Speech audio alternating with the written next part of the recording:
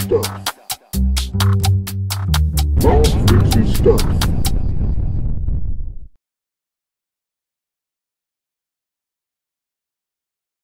Hello and welcome to another exciting episode of Mark Fixes Stuff. In this episode, we're going to look at a local pickup that I got for the princely sum of £40. Now, usually I wouldn't pay £40 for a pickup. However, however, she said something about a dead relative being involved and all sorts of emotional stuff, and I heard music playing in the background, probably a little tiny fiddle, and um, I did probably pay over the odds for this, but you can be the judge. Now, first up, we got a bag, okay, and there's a bag within a bag, so we'll take the top bag, move this to one side. Spoilers there, I'm afraid.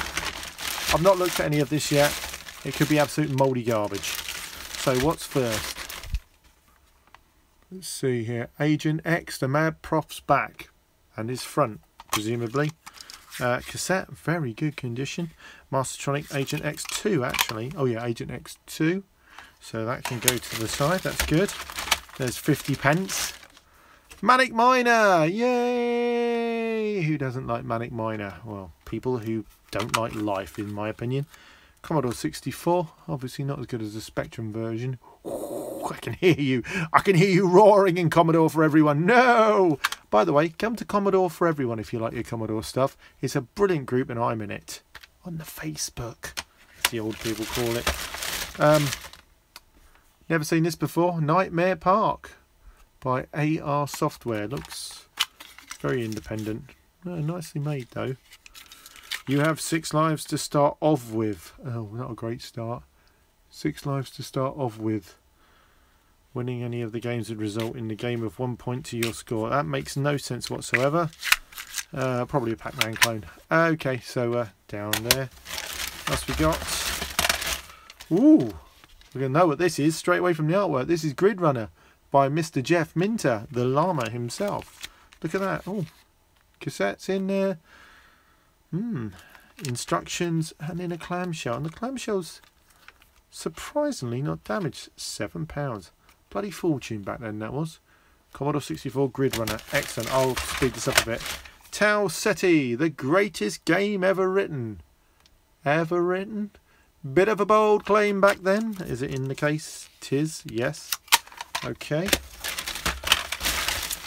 Ah, Commodore C64C introductory tape. Boring. Oh, toolbox. Oh, yes, it is toolbox. Yeah, that can go in the pile. Outback by Paramount Software. I don't need this one either. A new standard in programming. The C64 comes alive with this arcade quality, pure machine code action spectacular. You beauty! Look at that. Look at that. What a shocker. Uh, I have no idea. I'd like to say that I'll, I'll, play these at some point, but I probably won't. You know me, I'm not very good. Um, another clamshell. Matrix! Yay! Matrix by Gridrunner, Commodore 64. And I think this is... Hang on. Gridrunner and Matrix. Right, yeah, Gridrunner and then Matrix. I think it's the sequel or something. I don't actually know enough about it. Okay, you can go there. Got here. Mike Read's pop quiz. Ricky, Ricky, Ricky. Pat, I love you, Pat. I love you. Well, it's in there. Uh, yeah, you're right. See, that might be really interesting to look at, you know, considering what time has passed and considering pop back then was probably a lot better than it is now. Uh, big case. Oh, gauntlet. Warrior needs food. Oh, that looks like a mouse has needed food because something's been eaten there on the edge. Never mind. It's okay. We'll, uh, look, is the tape in it? Yep, the tape's in there. C64128. Wunderbar. And one more thing in here. The utterly, utterly non-Brexit, non-racist Chinese juggler. Awesome. Uh, Chinese Juggler by Ocean back in the day. Um, spin the plates in this 3D simulation of the classic game requires skill, speed, judgment. Makes full use of the Commodore 64. Not half of the Commodore 64, but full use. Okay, so let's get these out of the way. Brilliant. Not 40 quid's worth though, is there? So let's see what else we've got in this bundle. So pop that on the chair behind me. Let's see what's next. Move the bag for life. Right, I tried that new Tesco's dating service. Be careful though, because I went on it and ended up with a bag for life. Little joke there. Right, first up, Space Shuttle for the Commodore 64 by Microdeal, uh, cassette version. Cool. It was very light, like a fake thing. Let's open it up and have a look. What bloody hell, polystyrene inside. But there's no tape. Of course there's no tape. Oh, hang on. No tape, but there is a... Oh, there is a tape. Look at that. Microdeal. Commodore 64 Space Shuttle Flight Manual. God, that is really thick outer and... Cool, back in the days when that was big box gaming, mate. Wow, wunderbar. Absolutely no good to me though, I'll never play it. All this stuff's going up for sale eventually, I think. My wife decides to part with my estate at least. Uh, very nice. Yeah, okay, I like that. A value pack by Beau Jolly. I always wondered if that was um, a play on words for Beaujolais. You know, like the wine. Um, instructions, three tapes, two games each tape. What games are on it?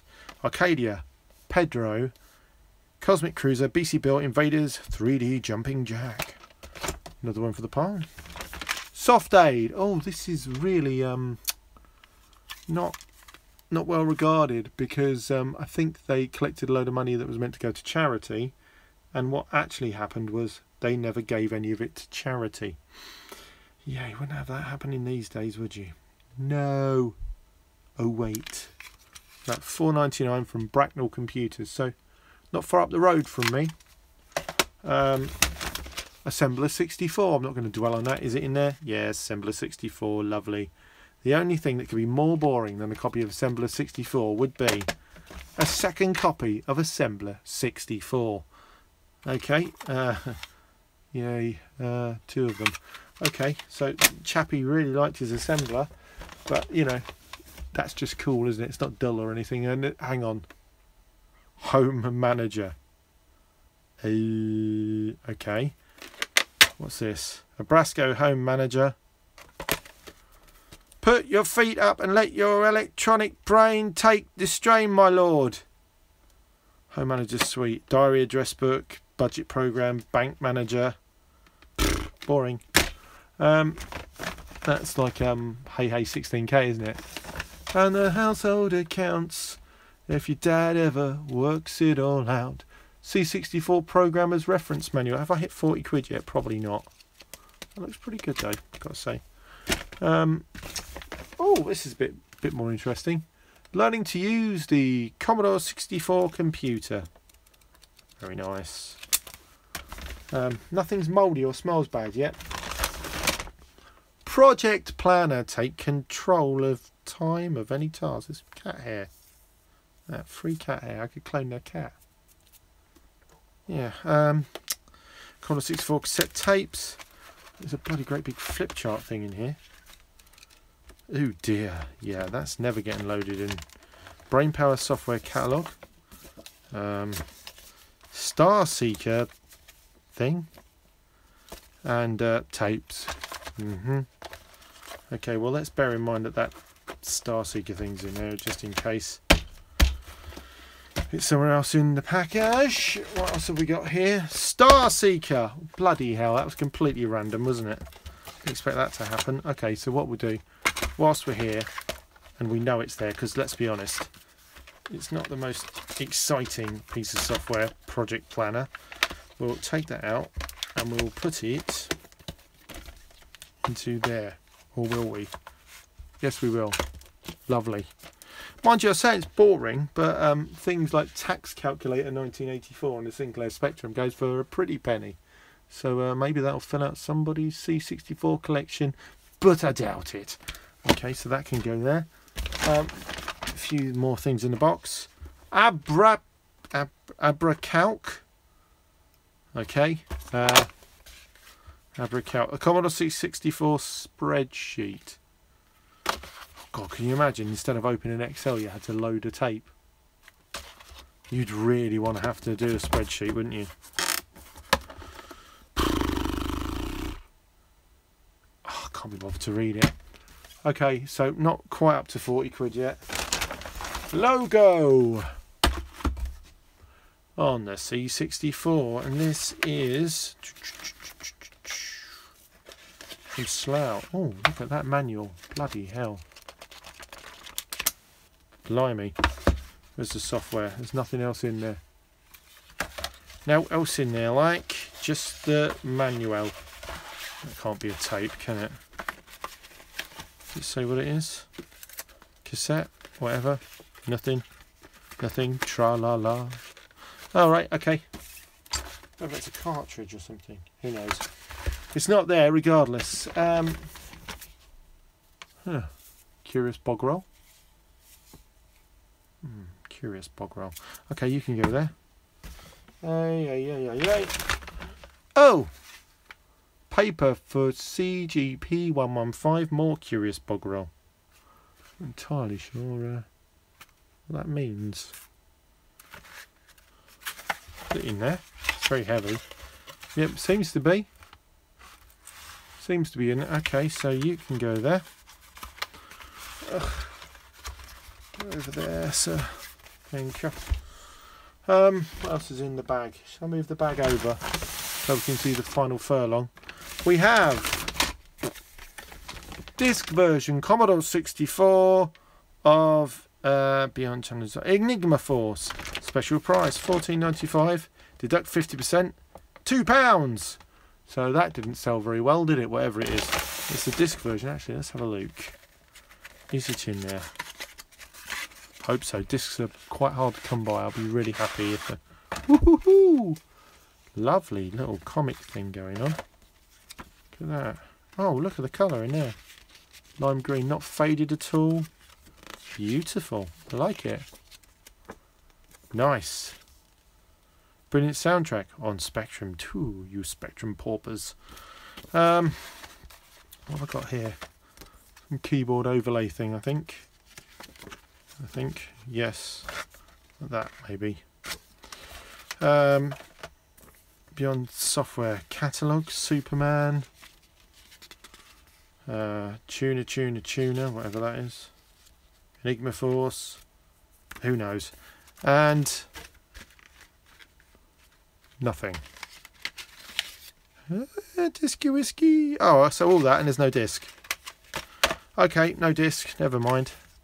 I'm sure someone's got the disc and hasn't got this though, which might be a little mirage made in Iran. So we'll pop that back in there. The box is in really good condition. Beyond software. I always like their boxes. They all look like a, a comic. You know, really good. So, um, yeah, that can go there.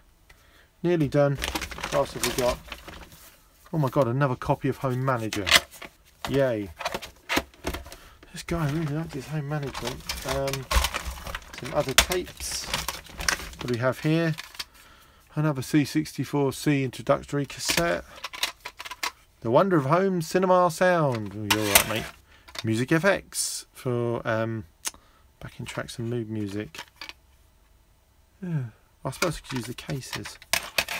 Celebrate 20 classic tracks for special occasions. Mm, no, you're right, I can't bear it. That'd be cheap tape as well, so not even any good for computing. And um, some various cables. Um, RCA cable to RCA. Oh, sorry, not the board. Did I like that? Yeah, probably. Um, sort of um, coaxial cable hookup cable. I'm sorry if this is out of focus, but uh, there you go. That's the grim dog-eared cards that Cruel Fate has dealt us. What the hell is this? Um, well, whatever it is, it's got some sort of strapping on it. And this is the end of the cable. Can you see that? DC 12 volts. Mirakawa. It says Mirakawa. Yeah. Yeah, I don't know what that is. Anywho, so yeah, contents of the bag. I hope you've enjoyed the. Oh wait, there's some other stuff. I forgot to tell you. So, do we think we've hit 40 quid yet, guys? Do we? Do we think we've hit 40 quid? I'm not entirely sure. Maybe. That's got to be six quid on its own, surely. Not what that is. Space shuttle, good condition. We were four quid. Uh, nah, who knows? Novelty toilet roll, got to be worth a quid. That can go in there. But we've got something else came with it. So uh, do bear with me while I bring it over. We have got. Turn, turn, turn. Let me see if I can bring it over actually. An introduction to Basic Part 2, which has got this lovely um, big fat manual in it. I think this is an addendum to the original C64 manual. But unfortunately, no software! Pooh! Um, but, you know, I bet people have got the software and they haven't got this. Again, a marriage made in heaven. This is diskette, you see. I suspect that this chap took all his discs out, kept them in a box, and the box never made it. Programmers utilities. And this is the um, image that you often see talked about on the net when people are talking about using DOSWedge on things like the SD2IEC. So programmers utilities, again, no diskettes, but we do have paperwork. Please excuse me belching. So, uh, quite nice little historical record. I'm probably going to be passing these on to someone who will uh, look after them a little better than me, or maybe has the diskettes. Oh, I'm not even sure. Maybe these aren't archived and can do with scanning. Who knows? Let me know in the comments section below. Anyway, yeah, so there's that, but there's also something else. Tan tan tan! It's not complete, I don't think, though, because look, I've got this bit and I've got this bit, and I have this Commodore plotter which looks like lots of fun um, and I've been told that the biggest problem with these is that you cannot get the pens however it looks like there's some new pens here that haven't been used and I wonder I really do whether they work so oh and I've dropped them all down onto my floor so let's have a go here we go Oh, have I got to take it out? Yeah, I've got to take the cap off, obviously. Obviously, he says, not knowing what he's doing. Look at that. Working Commodore plotter pens. Really, really, really working as well, look. Hello. So, hmm, well, there's something to be reckoned with, isn't there? Just pick up these other ones, these little brown ones and pop those back in this uh, tubey thing Radio Shack plotter pens and we've also got we got brown black you can go in there. We've got blue green and red. Uh, red blue black green I think. Oops sorry head back to the camera. But we only seem to have unfortunately one of the uh, what's name support things.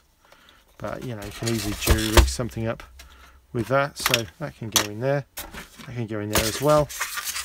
And I'm going to take that next week when I go up and visit uh, RetroManCave so that can go with me then okay so we'll move that out of the way I've had my 40 quids worth yet no wait there's something else Put that to one side Where's it gone? Where did I put it? It's so small. I probably probably lost it. Where, where oh, here it is. Yes, an Oceanic it's OC-118N Commodore compatible floppy drive. Oh, we're getting close to that £40 now. I, I can feel it. Let's see what we've got in here. Oh, look, Polly's.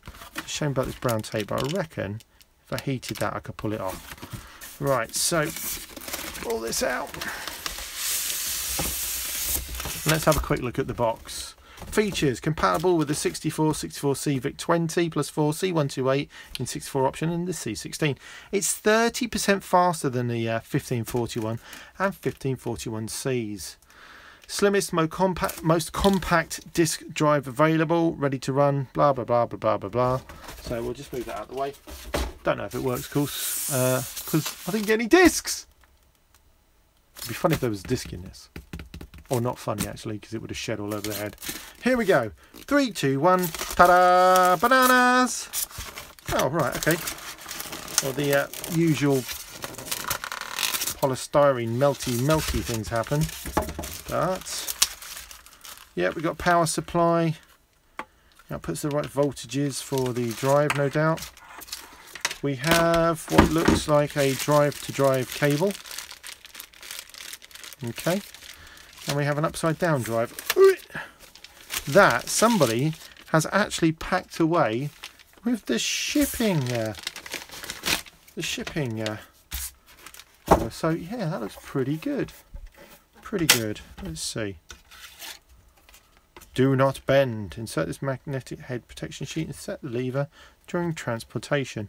Right, well you're not going to be able to see inside there, but it's very, very clean indeed. On the back. You got the usual power ports uh, in and out for the uh, I don't know what that is. There's no manual in here either. So let's actually compare this drive with a Commodore drive.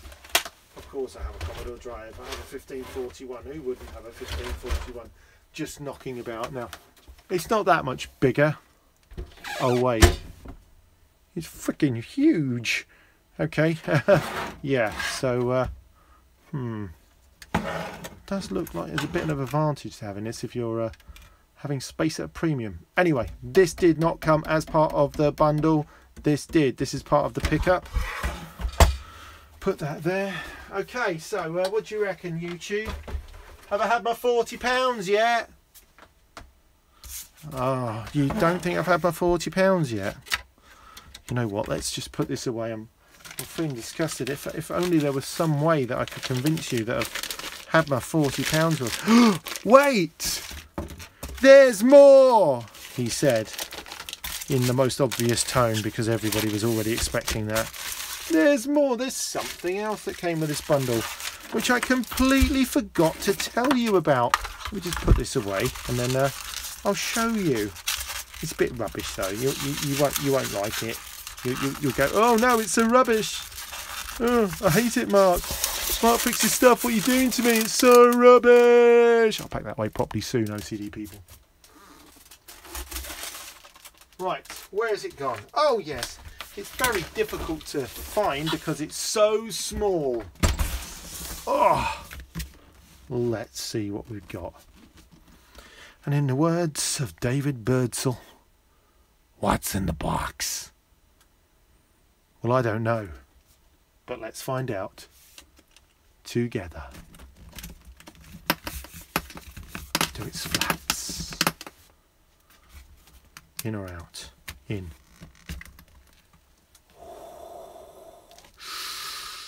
Impressive. Let's see. Ready? Three, two, one. Here we go, YouTube. It's naked! It's a Commodore 64. It's a funky fudge Commodore 64 with a Commodore joystick. Very nice.